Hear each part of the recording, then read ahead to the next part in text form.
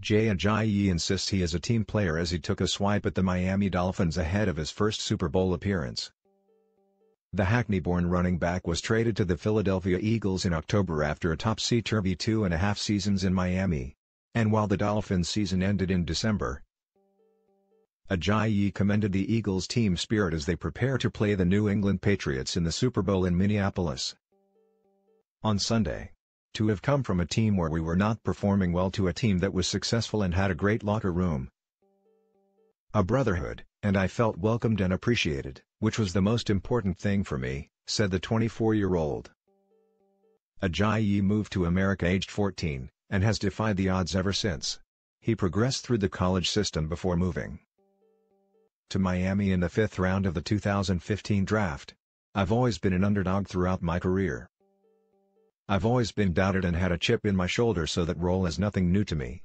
I've always felt like it's that much sweeter when people don't believe in you and people count you out. Regardless of whether we are favored or whether we are granted that underdog role, it is what it is. I've felt I've always been an underdog. That's just me. While the Patriots are favorites to win their sixth Super Bowl. Ajayi says the Eagles are not just there to make up the numbers as they chase a first Lombardi trophy in franchise history.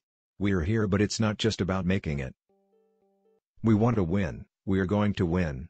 That's the plan, he said.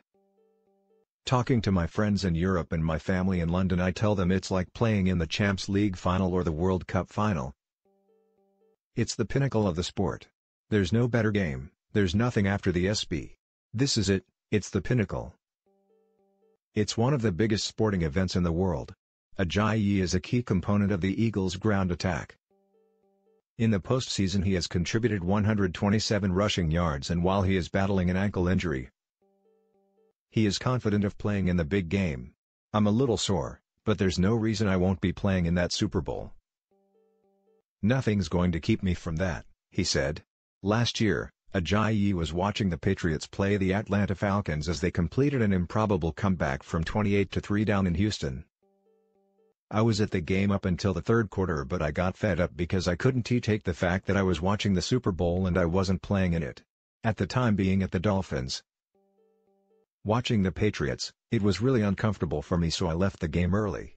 I promised myself actually that I wouldn't go back to the Super Bowl unless I was playing in it.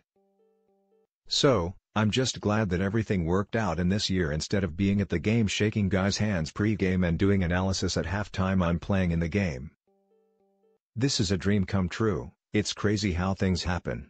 Ajayi, who is an Arsenal fanatic who regards Thierry Henry as his hero, took a swipe at Alexis Sanchez, the latest big money departure from the Emirates. Basically, good riddance. I'm for the guys who are in the team, the guys who want to be there.